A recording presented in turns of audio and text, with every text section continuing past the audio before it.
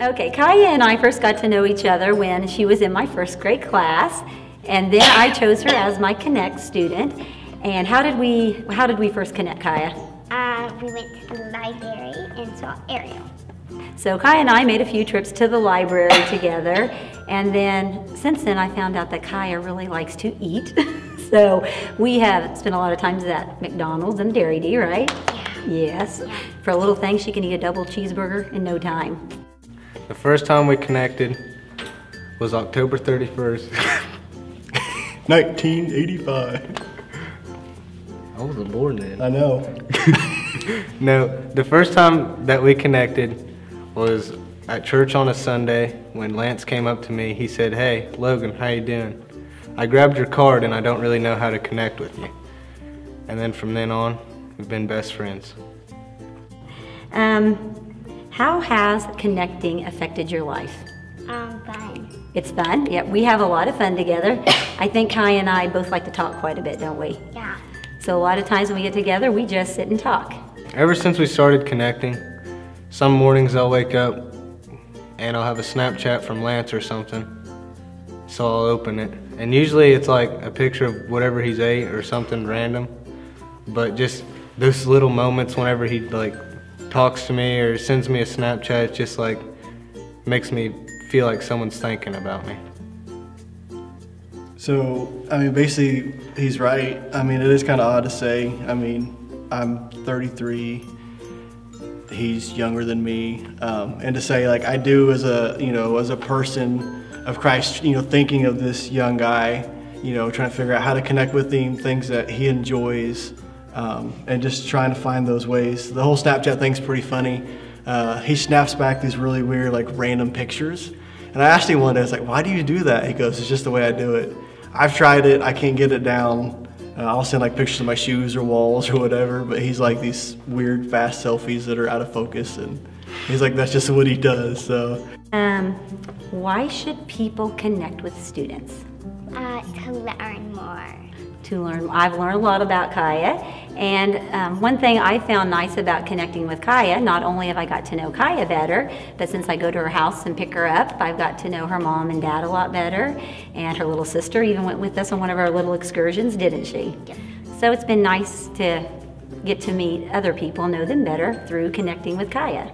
Yeah.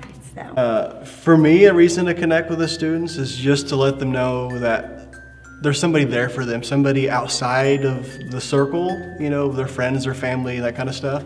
Someone that if they have a problem that they can come to, you know. With Logan, I want to make sure like I'm approachable. I don't want to, you know, be distant from him, but I want him to know like, hey, if he's having a struggle, he's not confident, you know, talking with a close friend or a coworker or something, that he can come to me at any time, you know. And I know that, you know, God's gonna lay that moment, like that opportunity's gonna come at some point in time. I just want to make sure I'm there for it. Uh, so that's why it's important for me to connect with with students because even as an adult, you know, you have those certain friends or people that you go to that you can talk to with that are outside the circle that aren't gonna, you know, judge you in any kind of way. They're not gonna talk down to you, but they're gonna be there just to kind of kind of listen.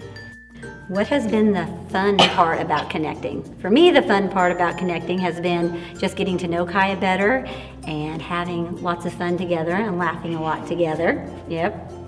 So, what's been fun about connecting for you? Um, food. Food, yes. Um, talking. Talking. Definitely your Snapchats.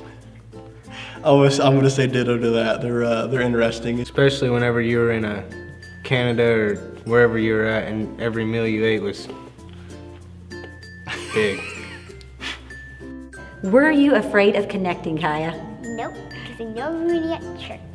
When I asked Kaya this, she thought it was a silly question because she said she knows everybody at church. Why would she be afraid of connecting? Which I thought was a good thing because that lets me know that she feels loved by her church family and feels very comfortable with them. And I think that's a really great thing.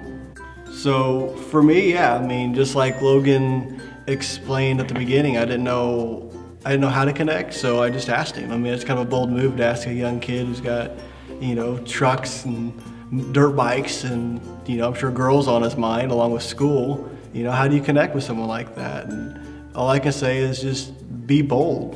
What would you say to someone who is on the fence about connecting? I would say just give it a try. jump Or fall. or fall. That's a Um, good point. If you fall, you're shorter to the ground than if you jump. If you jumped, it'd be a longer fall. You're adding that distance to it. Yeah. Um, so I would I would go for the falling method, but either, either way is What if you're pushed? Yeah, if you're pushed, that would definitely help. It's less painful that way.